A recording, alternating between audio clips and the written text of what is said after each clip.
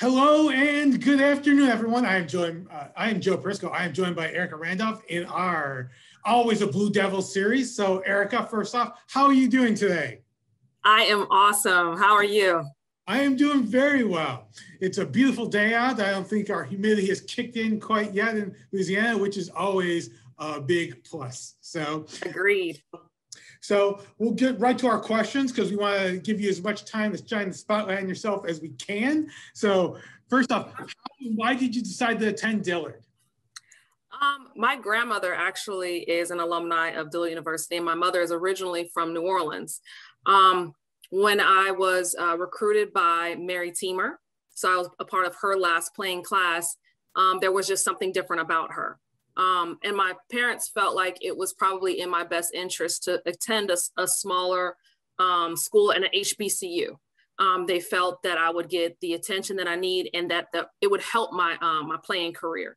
Um, I had other offers, but there was just something different about Dillard that, you know, resonated with me. And I mean, I, I think I made an excellent decision. Oh, excellent. You know, it's a very good story. And you were part of, you know, the great Mary Teamer's last recruiting class, a last playing class, which is also a huge feather in your cap as well, because Mary is and it will always be one of the historic figures in the you know the history of women's basketball, not only at Dillard, but in the you know the history of women's basketball. So that's amazing in, in itself. So absolutely. So um, talk a little bit about your experience when you were on campus. You know, like how, how was it, uh, you know, to be on campus? You know, what would you like, what you didn't like, that sort of thing. So um, I'm gonna be honest with you. Um, when I being from California and coming to New Orleans, it was a huge culture shock for me. Um, everything was different. I didn't even really understand the language. So when people were saying making groceries, I was very confused. My um, my roommate at the time, my freshman year, she was also from Sacramento, so that kind of helped um, helped me some. But my sophomore year, my roommate was from New Orleans. So she kind of helped me get acclimated a little bit with uh, New Orleans, the lingo. I knew a little bit about the food because yeah. my mom was from New Orleans. But yeah. like when they would say stuff like, there's some in the cabinet, or no, they got some in the cabinet, I, I would, I'm like, who is they? Are there people in the cabinet? I was confused. I didn't understand that that was just a normal term for them to say. So uh, after a while, it's kind of hard to it's kind of hard not to fall in love with New Orleans. For sure, it's, it's a great city, and you know I, I, totally sympathize. I am originally not from New Orleans as well, and it took me a little while to at least understand what people are talking about. sometimes people slip into their accent. I'm like, can you repeat that a couple times? I feel bad, but right. I'm not quite you know up to par yet. So. so, um, talk to me about your classes um, or favorite teachers. Did you have a favorite class or teacher um, when you were going to school? I loved Miss Esteverne. Um, she taught, um, so I was in biology. She taught, um, I think it was anatomy and physiology. Um, and and um, Dr. Mar, no, uh, Marva Smith, she taught genetics. They were fantastic. Um, who else? I also had um, maybe a Dr. Smith for history. Maybe I think that name sounds familiar to me. Um, I remember because the very first day I had class, she was going over her rules and procedures and she said she didn't like for people to chew gum, but I had gum in my mouth, so I tried to like hold it in the back of my mouth. And she found out I was chewing gum, and she put me out. But actually, she ended up being my favorite, one of my favorite teachers. it's, it's a great story too.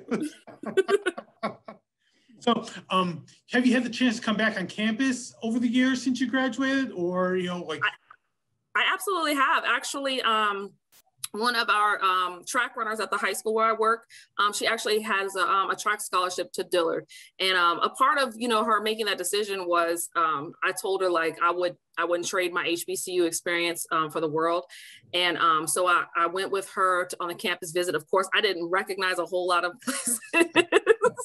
But um, you know, there was still like Hartzell Hall, and I was like, oh, I stayed at Hartzell Hall, and she's like, she was just kind of looking at me, and I told her I was like, the rules were a little different then. I was like, it, you know, there was no co-ed dorms. I was like, we had a curfew, we had to be in by eleven. On the weekends, I think it was maybe one o'clock, two o'clock. So I mean, it was it was pretty strict. Hey, I mean, like at least there wasn't any snow to go uphill on, right? Right. no. but, um, so um, what years, and I'm, again, a lot of these questions are going to test your memory. So like what years did you end up, were you playing at Dillard? 95 through 99. 95 through 99. Okay. Um, so um, you know, since you left, are you or have you been able to keep up with a lot of your former teammates? If so, like how, how are you able to keep up with them? Um, uh, I'm friends with the majority of my teammates on Facebook. Uh, uh, a lot of my teammates I actually see um, from time to time. A lot of them are actually in education. Um, some of them, like one of them, she is actually, well, she was a basketball coach in Baton Rouge. She coached um, girls, um, but actually, I see quite a few of my former teammates. Excellent. You'd be surprised. Oh, for sure. I mean, the connections that you make in college, how they're lifelong, especially, you know, like not only, I mean, it happens at a lot, we're in the educational field, but even without, I'm sure you've got plenty of teammates that, or some teammates that weren't in the education that you're still able to keep up with. And Facebook is an amazing tool that, uh, uh-huh. yeah. absolutely. I have two two teammate, teammates that I actually see quite on a, on a regular. I have some of them have actually been to the games where I've coached that support me. So absolutely. Excellent, excellent. So now we'll kind of get into um, you know, like when and how did you first start playing basketball? Because I know basketball was your sport here, but you know, how how did you first start playing basketball? Um, my favorite basketball player was Magic Johnson. I decided that I was going to be the first girl in the NBA, and nobody could ever tell me different. Um, I was actually um, a dual sport athlete. Well, technically um, dual sport for um, all the way up to eighth grade. I was mostly soccer and um, and basketball. But when I got to high school, I had to make a decision. So I kind of stuck with basketball and then also with track. I had to leave soccer out. But soccer actually made me a better basketball player because it lowered my center of gravity. Of course, you don't use your hands as much in soccer. So I was a better defensive player. And I had to think a lot because soccer requires you to be able to make uh, it's about angles and passing. So I was a better basketball player because of what soccer had taught me. Um, I was a I was a standout athlete when I was in um, high school, and I went to um, a very prestigious high school. It was St. Francis Girls High School, and that's where I got recruited. I had a, a really good high school career. Excellent, excellent. Um, so now we'll get into the meat and potatoes of the interview. And you know, you are very unique and special, um, and you're a bit of a trailblazer as well. I mean, you're a female assistant on a boys varsity uh, program. Not only I'm, you know a program, but a very successful program. So you know, tell us about that. First off, tell us about that experience, how it came to be, and you know, like your feelings about being a, a trailblazer. well, honestly, um, it wasn't like uh, it wasn't really a choice. I, no one ever asked me actually asked me to coach girls. That that's the strange thing. They knew I played basketball, um, but I was actually at East St. John with the coach there, and, and the coach was like, "Listen," he asked me to break down some film. And right after he asked me to break, break down the film and I broke it down, he said, uh, I need an assistant coach. Will you coach? and I was, I didn't even think of, it didn't, it didn't resonate in the back of my mind, boys. I was just thinking coaching. Yeah. So I was like, I would love to, but I had a coaching was something I had avoided for so long just because I was tired of being in the gym. I had been in the gym the majority of my life. And yeah. I was like, I don't know if I really want to go back in the gym. But the gym has a particular smell to you. Like when you have played in the gym for a long time, when you walk in the gym, you're like, it's home. So the first, it, it is the first game that I ever coached by myself. I coached the, um, I coached, var, I coached the varsity and the freshman and, and the JV, but the first game I ever coached by myself was the freshman. And there were things that I knew, like when to call timeouts, how, how to draw plays that instinctively came to me. And I had no explanation for how I was able to do it. I had no explanation for how I knew how to make adjustments. And you know, a lot of people say, well, that's because you were a former player, but coaching is, totally no. different than playing because you have to figure out in a minute time, sometimes 30 seconds, how to make your adjustment, how to communicate that quickly to your to your players and have them have buy-in. Yeah. So my first year, I'm not gonna lie, I struggled. I, not just um, not just as a coach, but because uh, other coaches they um, thought I was the trainer um, the referees, like I would, I would call timeouts, and the referees, I don't, I think that they just weren't used to hearing my voice. Yeah. So oftentimes, I'm calling a timeout, they think it's a parent. So I, I, had, I did, I had to reflect. I said, well, how do I get their attention so they understand? So the referees at first, my first year, they would be afraid to talk to me. Like I, I had a male assistant coach, they would just go talk to him instead. And I, I did not, I didn't take it personally. No. I just understood comfort zone. Yeah. Comfort zone is assuming that he was the head coach and I was just maybe the trainer or something on the side. So it, it took a little while for everybody else to all of a sudden get out of their comfort zone and to say, I think she's here to stay, guys. I don't think she's going anywhere. that is an amazingly great story. And, you know, you were also very level headed because, you know, as a head coach, I've dealt with a lot of head coaches in, in, throughout my career. And, you know, like, obviously you want that respect immediately and you know you you had that respect but you know instead of getting on the referees you were calm and cool and it probably saved some technicals as well i've only been teed up one time one time and that's that's pretty impressive in five years. Only one exactly. time. Exactly. Only once. And I'm I'm sure the referees have earned more than that. So, yes. yes. Absolutely. So, so obviously that's some of the challenges. Have you faced any other challenges? I mean, being in the unique position that you are? Um some of the other challenges, I mean, I think is um a lot of people like per- perception about um, whether or not I'm as knowledgeable as my male counterparts. Um, I think oftentimes I'm I'm more under um, I, I, I, face more scrutiny. I'm under um, you know a finer glass, a microscope, um, and I'm also very careful about how I show my emotions on the court. Which because I'm a woman, people are expecting me to be overly emotional. So a lot of times I make sure and I'm cognizant that I scale back some but my personality is pretty laid back anyways yeah. but i make sure that i'm careful how i display any kind of emotion even when i call a timeout I, I bring my guys in real close and i turn my back to the fans so they can't really see how the interaction takes place yeah. because you have to be careful especially when you're coaching the younger kids and when you're coaching with kids you're in a small arena everybody can read your body language they can read your lips so I'm, I'm very I'm, I'm i'm very conscious of that because there's this perception that women are just these overly emotional people when i'm yeah. like actually the coach over there on that end is screaming way yeah. more than i am well, oh, I, I, didn't even think about that those are some great points and you're a very deep thinker as well you know like where you know a lot of times coaches are just totally out of control and you're thinking about everything you're thinking like three or four steps ahead which is just you know credit to yourself and you know how you know, even keel you are. So, you know, we'll talk Thank you. I appreciate it. So like as a coach, there's always rewards. And I'm sure there's, you know, like just coaching any team, there's rewards. So talk about some of the rewards of being, you know, part of, you know, um, the high school. And not only are you guys, you're good. You guys are really good too. we are. We are. Um, so um, I was at East St. John for one year and then um, my head coach took a position at Hahnville.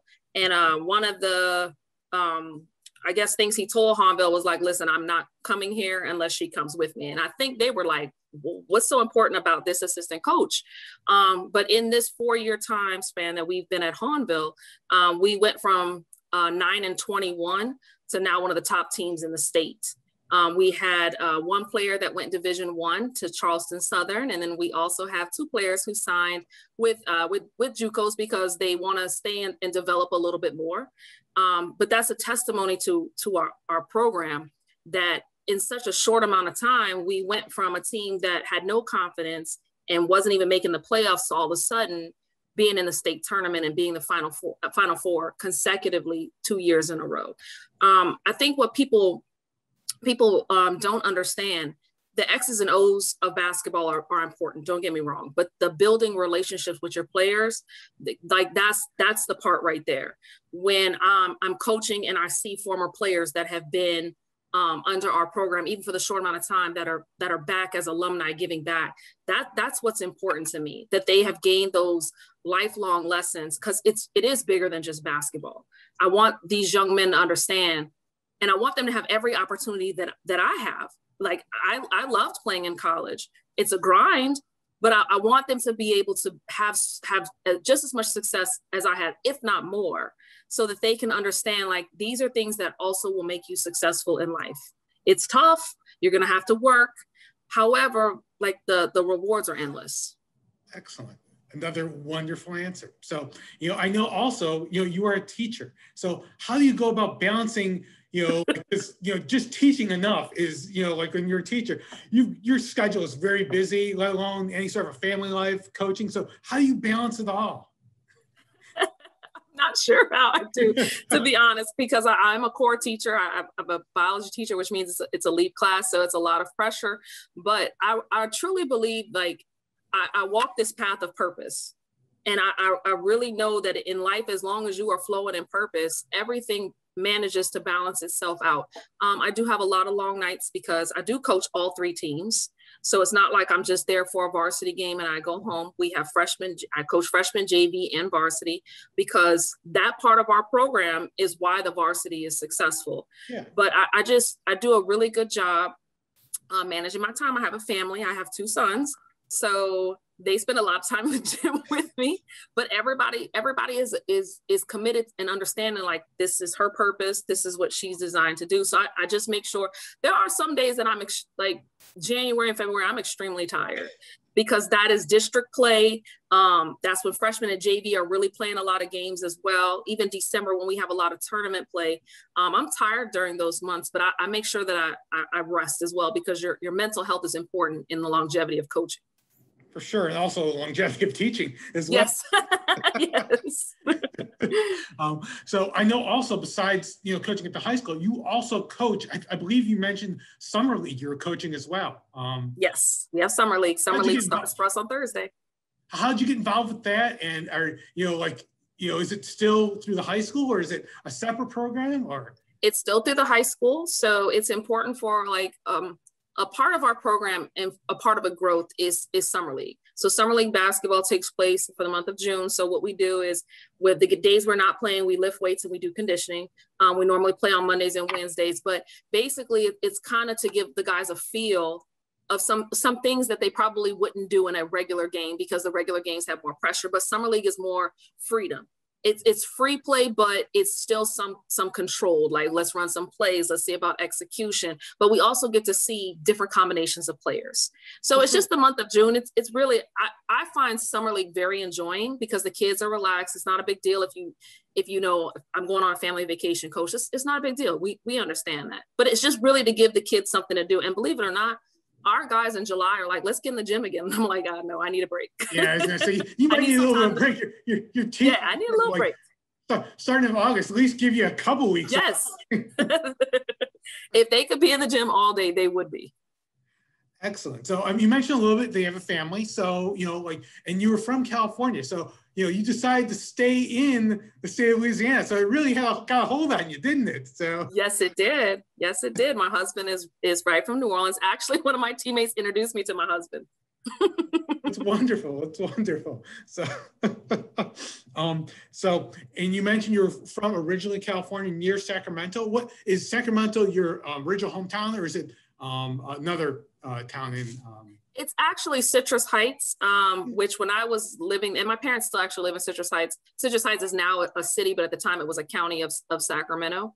Um, but yeah, that's where I, that's where I grew up. So I'm, I'm actually, ask you, go ahead. I'm gonna ask you a question off that. So, what was your favorite part about your hometown?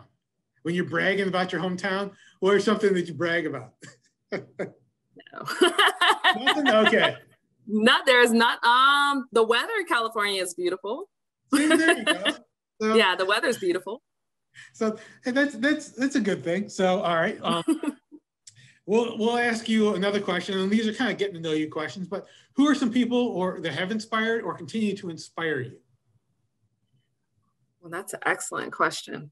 Um, there's a coach um, that coaches for the University of Maine. Her name is um, Ednisha Curry. She um, actually reached out like on Instagram to me, and she's like, I think she there may be one other female um, males assistant ba- um, basketball coach, but I know that she's one. Um, but I actually met her through social media. So, you know, whenever I, I thing about our guys, she's always so supportive. Um, of course, um, Becky Hammon. Um, I love what she does. Uh, Pat Summitt, um, Coach Teamer. I, I, she was absolutely a trail. Listen, Coach Teamer was a trailblazer. Coach Teamer, every game was dressed to the nines. Oh, yeah. She made sure that we were um, presentable young women at all times. She um, she did an excellent job with recruiting. Um, and you know, she she kind of marched to her to the beat of her own drum. She really did. Yeah. That, um, done some did some research about her you know because we did you know we wanted to celebrate her uh, back in march. And like you know things written about her were obviously she wanted to prepare everyone that, that played in her program not just to play basketball but you know prepare them for their next step in life which is very big and you know like that's forward thinking as well so. She did. She made sure that that was one thing i appreciated about her. She like we couldn't wear our warm-ups to school. So you know how they give you like the little um, like kind of jumpsuits that you get. Yeah. We could not wear those to school. We had uh, sweats, uh, also like practice sweats. We were not allowed to wear those to school. Like we actually had to get dressed up for game day. Um, and you're talking about this was in the 90s. So she was ahead of the game for how she wanted us to present ourselves. She would always tell us, yes, you play basketball, but you're young ladies first. Exactly. Yeah. It's a, you know, I read that, you know, she wanted to prepare for her, the, everyone that, and even the way she recruited, like she recruited people, you know, with grad, she wanted people to graduate. That was her number mm-hmm. one goal. You know, obviously she wanted to win because all coaches want to win. you know, she wanted everyone to play for her program to be better off throughout their life. So, you know, she was very inspirational in that way. All right. Great. So let's see. This is going to be kind of, uh, you know, an easier question for you. Maybe it won't be. I don't know. we'll talk about some of your favorites. Do you have a favorite movie? Yes. Um, probably Marvel Endgame. Okay, Marvel Endgame. Okay. Good one. How about favorite TV show? I know you probably don't have a lot of time to watch TV, but uh, I actually do watch a lot of TV. Um, favorite TV show or show? Probably Scandal. It's probably my favorite. Oh, it's, yes, it, it was very. It was very How about um musical artists or groups? Do you have any? Beyonce, Beyonce. All right. Beyonce. I, I love rap music too. I, I love like Jay Z, DaBaby for the newer ones, Future. I love rap music, but uh, Beyonce. excellent, excellent. Um, so, and this is going to be take you all the way back. So, what was your first ever job? My first ever job, believe it or not, was McDonald's. Really? I think and a lot of people start off there. So. Yes, and I knew I was like, I cannot do this. but it, but it motivated you as well. I mean, uh, it absolutely did. So, and we all you can ask for is that first job because most of the time the first job isn't what you're going to do the rest of your life, but it motivates you or it right. like you know another path you can go. so, all right. Um, you seem like you're a very happy person. So, if I ask you, what is your personal key to happiness? What would it be? You have to love yourself. I think that um, you you can't reciprocate love until you love yourself and that doesn't mean loving all parts of yourself because you're always a work in progress um, but you you can't properly because coaching and teaching it is love um, you know one of the things that a coach told us told told me one time he was like coach your players play so hard for you like they'll run through a wall and i'm like my players know i love them and i, I think the, the my players also know like I, I love myself I, and it's it's not an ego thing. I, I, I love who I am. I love who I've become. So it's it's I find it very easy for me to love other people. Like it's reciprocated, and I think that a, lot of people struggle with that. I think that they don't understand that you you can't you, you're not even able to receive love until you love yourself. Excellent answer. Excellent. So all right obviously you played basketball, but you might have some hidden talents. Do you have any hidden talents you want to tell people about, or anybody that you know you you can do something that surprises somebody? Like, oh, I didn't know you could do that. I play the piano. Really? How long have you played the piano for, or how long? Well, I. I don't play that often, but I still have one here in my house. Um, but I used to play uh, classical piano when I was younger, so about the age of about eight to about twelve.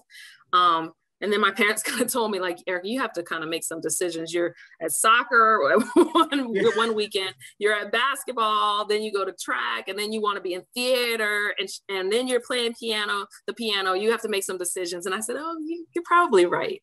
So I can still play the piano. I can hear music very well. So if I hear a song, I can normally go on there and um, and play it. But it's not something I, I tell a lot of people. Well, that, that is that is wonderful. But I think also the fact that you kept busy as you know a kid, I think that you know, specialization is never good. And the fact you were involved in a lot of different things and you were multifaceted where it wasn't just sports. You had, you know, interest in theater, interest in music. I think that, that makes you a more well-rounded person and also helps, you know, form your life to, you know, you decide what you like and what you don't instead of just being specialized and whatnot. So, right. I agree. Thank you.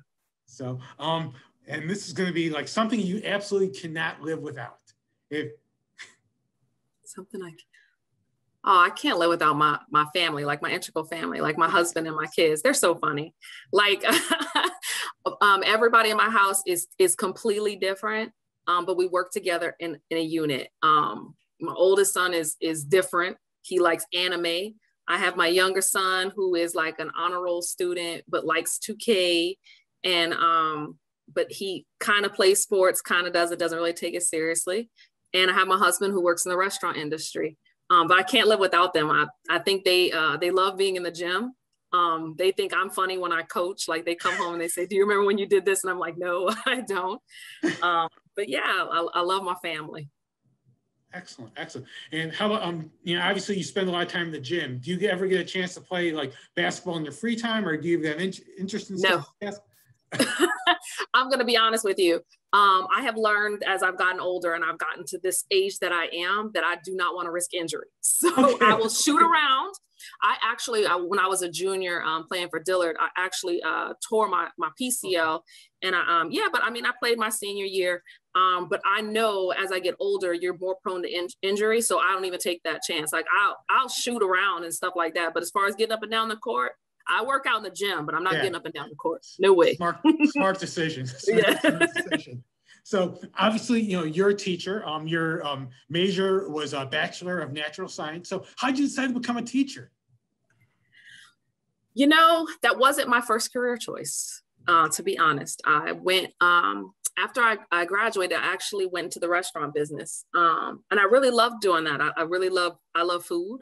Um, I love the arts of it. And then um, Katrina hit, and I I didn't have like we didn't know the restaurant business was going to come back in New Orleans, and I had had my son, and I, I needed something that was a little bit more steady. So instead, I chose this alternate career path that where, where I was a manager enterprise rent a car. Worst experience, but it's okay. It, I, it taught me a lot. Yeah. But it also led me to teaching. And one day, um, the band director at the at East St. John High School came in, and he um, he actually kind of knew me and he said, I, I don't know why you're here, but we have a science teacher position open. And I was like, science teacher? And he was like, and you told me you used to play basketball, didn't you? He was like, I know that you used to play basketball for Dillard. He was like, you'd be an excellent coach. And I'm like, he doesn't even know me. But that that was it. I, I I decided one day, I went down there and I talked to the principal, and that was all she wrote. Well, that that is also a great story as well.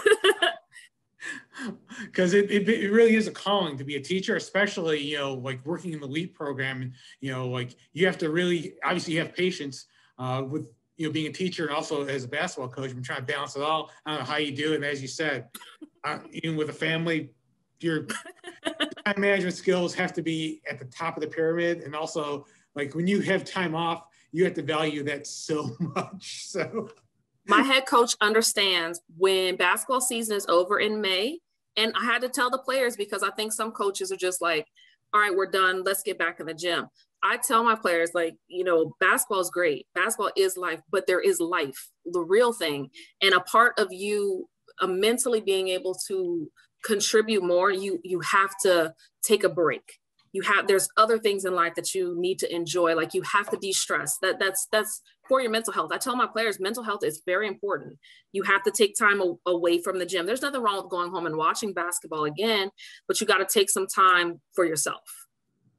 Excellent, excellent. I, I know that you kind of helped in the recruiting process for a track athlete this uh, past year. Um, but you know, like if you're giving words of advice for anyone that maybe you don't personally know, if they're considering Dillard as a potential school to choose, like what would you say?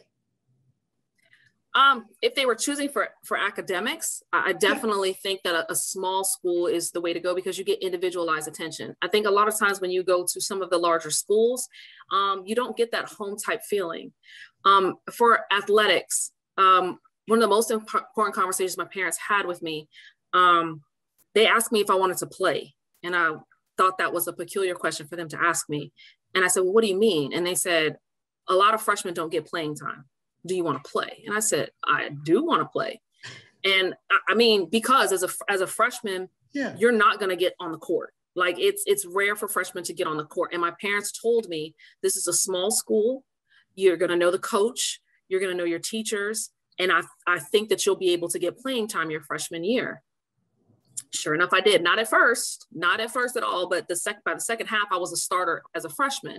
However, if I would have made the decision to go somewhere else, freshman year, I might not have played. Sophomore year, I might not have played. And that's the same conversation I have with my players. Do you want to play or are you okay with maybe sitting down for a year or two? And a lot of people don't realize that you could be the number one recruit in the nation.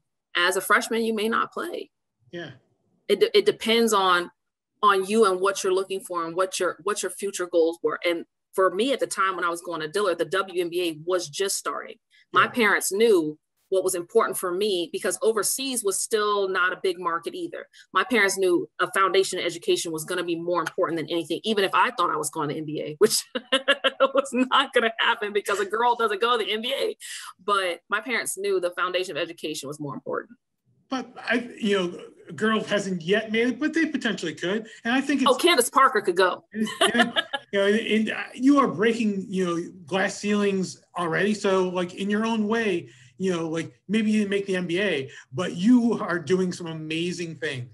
Thank um, you so much. No problem. I appreciate you taking the time talking. I know you, you know, especially now that I know your schedule, how busy it is. So I appreciate you taking, you know, half hour time to talk with us and kind of catch us up on everything in your life. So thank you very much. Thank, no, thank you guys for giving, thank you guys for giving me the platform. I, I, I appreciate it um, it's not that easy to get anywhere and talk about yourself but what i really want you know any young girl to know or just anybody like whatever your purpose is you got you got to walk in it regardless of how uncomfortable it feels and how other people may not understand it. Walking in your purpose is so important in life. Excellent. Excellent. It's great parting advice as well. So